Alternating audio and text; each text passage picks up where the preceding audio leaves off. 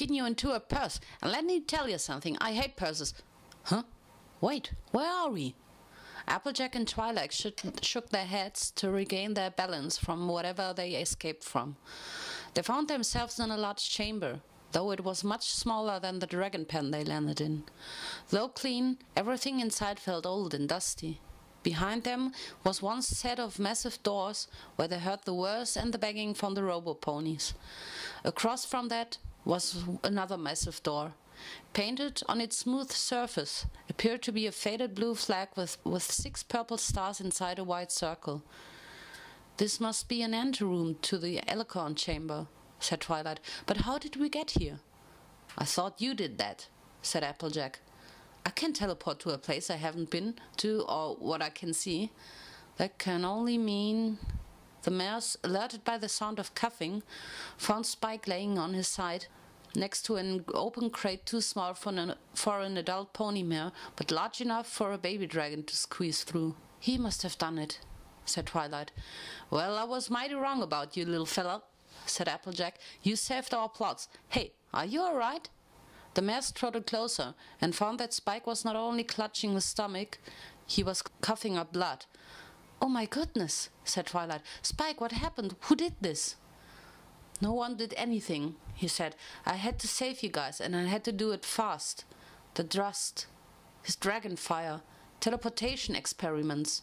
For him to suffer another experiment, he must truly regard his saviors as his friends and risk injury in doing so.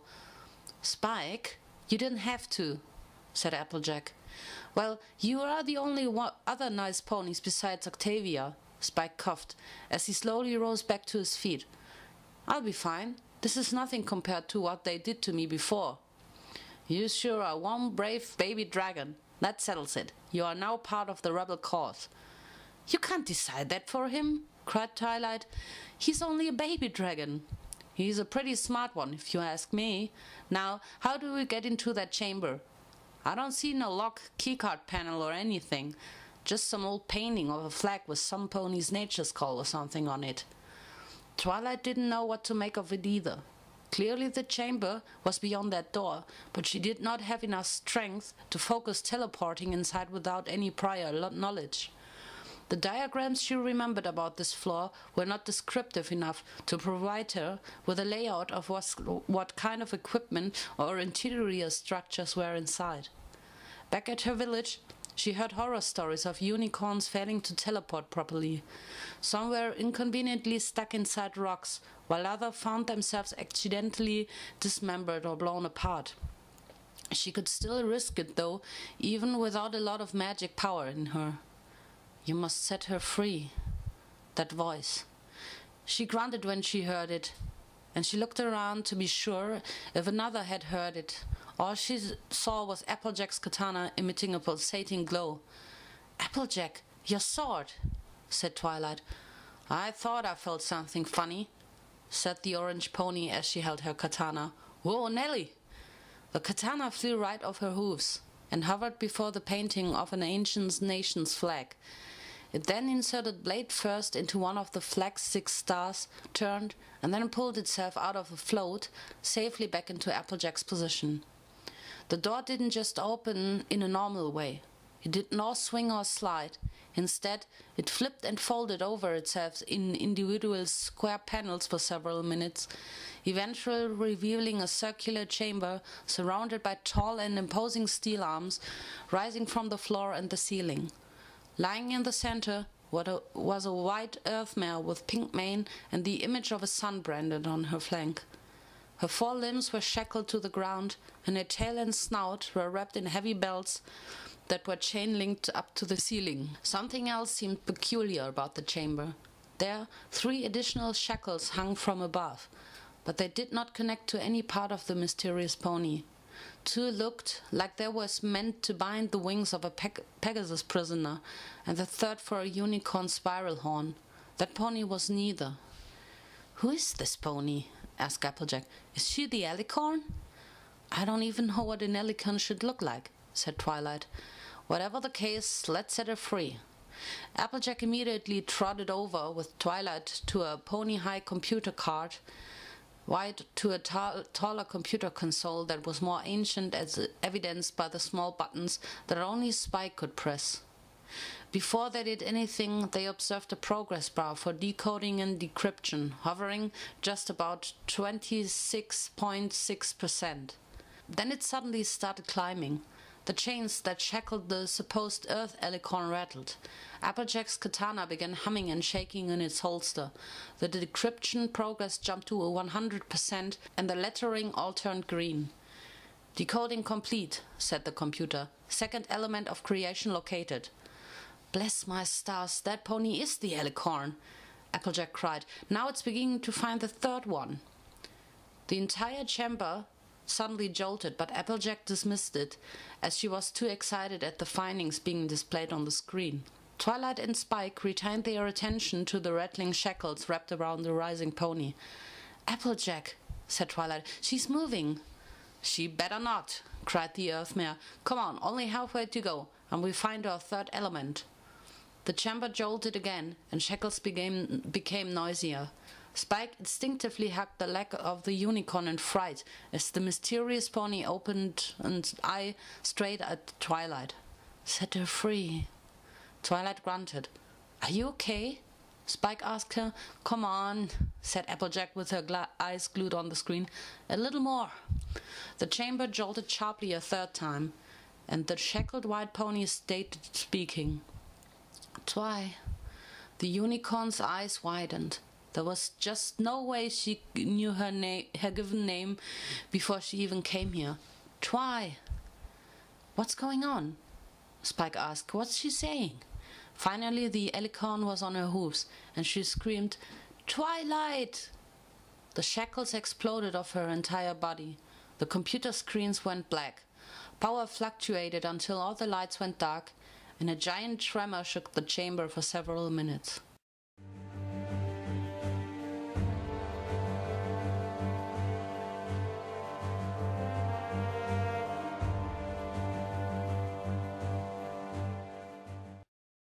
In the frozen chambers above, the sirens wailed, shouting a warning uttered from the digitized lips of an ancient civilization. Water trickled from the centuries of accumulated interior snow. The WNDG coolant pipes began bursting, howling a ravenous whinny. Lights that had not been used for the longest time blinked a foreboding red. The giant prison doors slowly whirred open, revealing into the gargantuan halls of the growls of a thousand years slumber. A company of robo-ponies had arrived to assess the dire situation.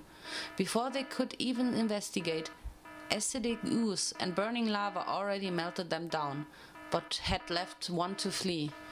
That was the thirteenth, when there should be only twelve. The massive door to the prison containing the Changeling Queen was wide open. Inside, it was empty.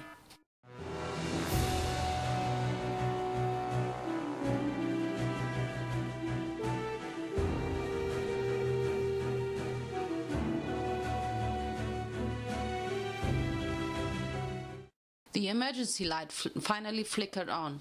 Applejack threw herself back on her hooves to stare at the blank computer screen, much to her dismay. For Twilight and Spike, a normal-sized white earth pony stared at the unicorn, curiously, with a tilted head. After a moment, she then licked Twilight on the cheek before nuzzling her. Dang nabbit! cursed Applejack as she banged at the computer console. I was this close to getting the location of the third element. Hey, you get off her! Applejack drew her katana and waved it at the white pony, who backed away silent in both confusion and fright from Twilight, who she had been nuzzling with unusual affection. She wasn't hurting me, Applejack, said Twilight.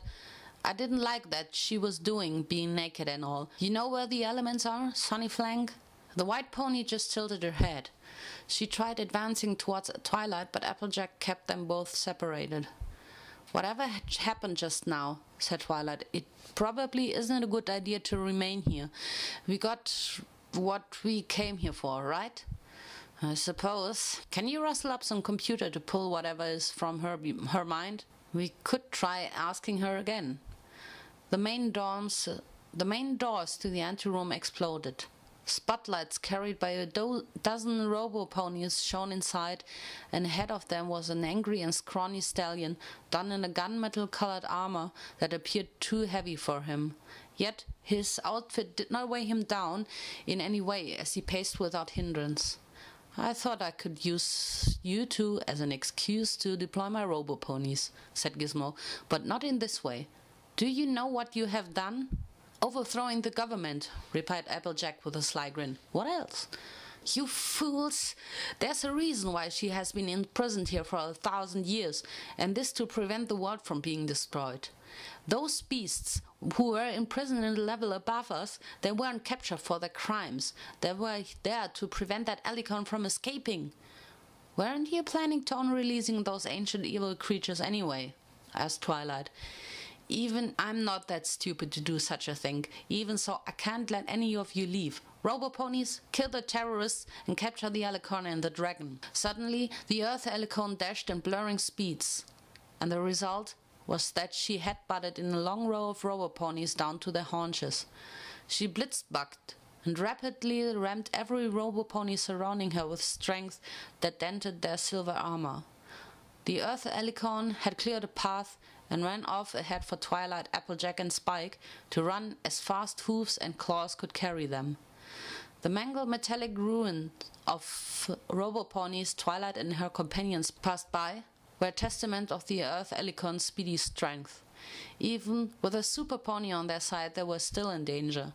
The alarms were blaring. Overhead speakers cried out foreboding words no pony could understand, and the lights continued blinking red. During their escape, Twilight could not help but notice something purple oozing from high up through the ceiling cracks and vents. Twilight hoped that the Earth Alicorn was leading them right away. The, ha the halls were getting darker and darker, and cave formations started appearing. Even if she had memorized the map of the catacombs, it would have been no use. The very edge of that map began where the metal floors had ended. Five shadows suddenly flew ahead of them, the lead flyer fired a shimmering hook shot that snagged the uh, Earth Alicorn, Alicorn's legs. Descending before Twilight when her group was Gizmo and his robo-ponies with wings, mechanical wings, that were designed to control the thrust of their back-mounted jet engines. I told you before, said Gizmo, the lead flyer, I can't let any of you escape. The four gunmetal and winged ponies deployed their electrically charged horns and fired upon Twilight and her group. All three received the initial shock, and before they were rendered unconscious by the pain, the ele electricity suddenly redirected past them. There it was again, the blue robo-pony that Twilight and Applejack encountered in the first level. It had absorbed all of the electricity fired from its darker brothers and then deployed its blue horn. Deep Blue fired four laser-like electrical beams at the winged robo-ponies, and if those machines could think, they thought they had advantage of rapid response time. Yet the attack Deep Blue used behaved like magic, and the beams made sharp turns and curves that penetrated the winged robo-ponies, grounding them for good into four piles of scrap. You dare betray me, Deep Blue? Gizmo cried. You piece of junk! I created you! Gizmo released the cable holding the Earth Alicorn and dove down to attack him with a heated laser whip he fired from his gauntlet. Twilight and her companions leaped out of the way as the battle between robot and master scarred the ground. Deep Blue narrowly avoided two direct cuts into its metal flank and had led the mad scientist away from Twilight and her group. Try, let's go, cried Applejack. We gotta skedaddle. But that blue robo-pony, let them duke it out for all I care. But Twilight didn't listen. She ran back to the fight between master and machine with a strange feeling welling up in her heart. It was the same feeling she felt when Shining Armor had suddenly left the village. Perhaps it was the loss of her father that she wanted to find some semblance of him lingering in these dreaded labs and the ancient subterranean prison.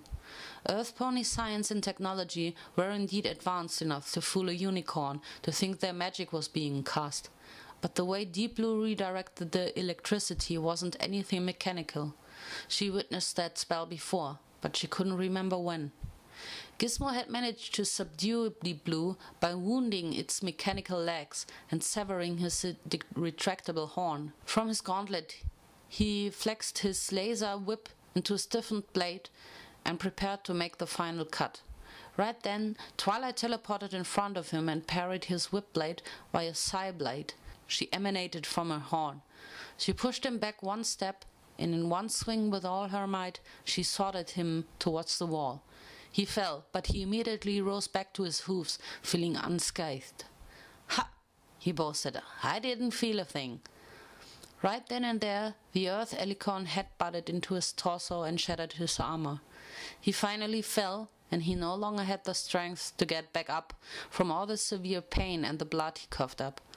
Twy, we really ought to stop adopting everything that helps us, said Applejack as she arrived with Spike riding on her back. And you get off her. The Earth Alicorn had been licking and nuzzling Twilight again, much to the unicorn's embarrassment. As for Deep Blue, it managed to rise back to its metallic hooves through whatever advanced technology or unknown magic that helped it. Its cold presence finally caused the Earth Alicorn to let go of Twilight, and Twilight watched as it focused red mono eye upon her. Um, thanks? Deep Blue whirred. The entire unmapped hallway jolted again, and again, and again. On the third, many of the metallic ceiling panels fell, some of which crushed Gizmo, who couldn't even scream in terror. From above, Lava flowed before Twilight and her companions, and from its burning fury many faces and eyes emerged to howl at a dreadful tone. Every pony ran for their lives. What is that thing? Applejack asked. It's Laven, one of the imprisoned creatures from the floor above, replied Twilight. That's a creature? That's just living lava. Actually, it's a living fusion reactor entity that takes the form of lava after the absorption of nearby we ain't got time for lectures either. We're coming up uh, to a cliff. I see a bridge, Spike pointed. The metal and concrete floor had already transitioned to rough rock, and from here on the prison and the lab had ended. They had now entered into a cavern system, similar to that of Twilight's home, and before them lay a deep and wide trench, which the only way to cross it was a precariously narrow rock bridge. The Earth Alicorn took point, followed by Applejack and Spike, and then Twilight, and with Deep Blue pulling up the rear. However quickly they moved, Lavan was still gaining. Bridge or no bridge, the living lava was going to devour them. Suddenly, explosions rocked the cavern, and a cave-in blocked Lavan's advance. Descending via, via a hover cart was none other than Octavia, albeit many of her fur and mane has been frosted off. On her back she carried a large object the size of a cello, and in one hoof she held a strange weapon shaped like a violin violinist's bow. Octavia! Spike cried. The baby dragon leapt off his carrier and hugged the good doctor. Octi, I thought you froze to death. When handling captured Windigos, we all have to take necessary precautions to unfreeze ourselves, said Octavia. But enough of that. The cave-in I set up won't hold lava for much longer, so I'll need to this WNDG bomb right here. Well, then leave it here and let's go. I can't. This is an experimental device, and there's no remote detonator. I stay behind to make sure lava and the other creatures are frozen once more. Octavia, why? wept Spike. I may have only been working here for years, but it's no excuse for putting you through such experiments, dear Spike. But you were nice to me. I wasn't nice enough. I should have. I should have found a way to set you free when we first met. Spike, I'm sorry, but I'm partly to blame for this terrible mess. Miss Twilight? Yes, answered the unicorn. Please take care of him from here on. Octavia, you can't, cried Spike. There has to be another way. We gotta go, little guy, said Applejack. She allowed herself the use of Octavia's hover cart and pulled the weeping dragon onto her back much to his protest. She sped away to the other side of the trench. Knowing that Applejack would come back and pick them up, the Earth Alicorn and Twilight resumed their path. but Deep Blue lingered still not far from Octavia as she bravely faced the living lava that gradually seeped through the rock barrier. You can come with us, Twilight cried out to the robo pony. Deep Blue shook his head. It trotted up and nuzzled Twilight before turning around to stand beside Octavia. On its flank were two cre- crescent shaped gashes that Gizmo inf- had inflicted, and it was drawn in the same pattern of a pony she once knew. Father? In full force, Laven had burst through the rocks. The Earth Alicorn suddenly picked Twilight on her back and sped off down the narrow bridge that slowly collapsed behind them. Laven's glow was bright, but not bright enough for Twilight to know for sure what was happening behind her. At the other side of the trench, Applejack nearly sped off to pick up the remaining two companions. Then the WNDG bomb had detonated in a flash. The explosion let out a roaring whinny, rocking the, rocking the entire cavern that caused the narrow bridge to collapse entirely. A gust of freezing winds briefly passed their direction, and everything became cool and silent. In respect for a fallen comrade, Applejack took off her Stetson hat. Spike instinctively ran to Twilight and cried on her shoulder. But he was not the only soul who lost a loved one. One lost a pony who was like a mother to him, and another lost her father, perhaps twice.